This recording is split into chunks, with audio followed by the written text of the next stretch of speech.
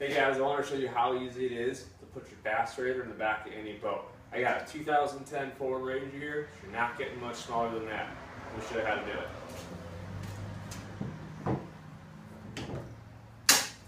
it. Oops.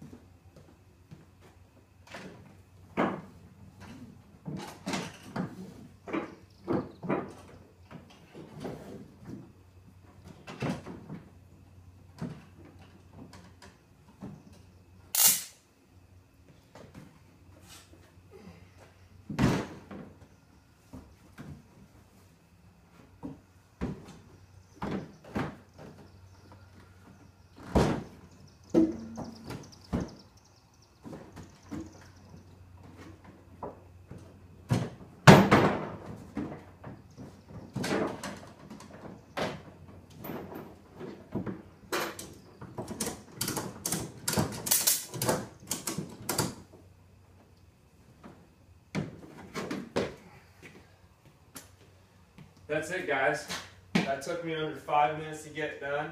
My biggest thing with this boat was I didn't want to buy a trailer. Alright, I wanted to I didn't want to buy a new truck either. I'm just fishing, I'm not trying to you know, spend a ton of money. So I love my Pelican Bass Raider, as you can see, it did just fine in the back of my truck. Um, if you want, you can put a second tow strap in the back. Sometimes I do when I feel like I'm going to go a little faster, but tomorrow I'm fishing the local lake, so I'm not going too far.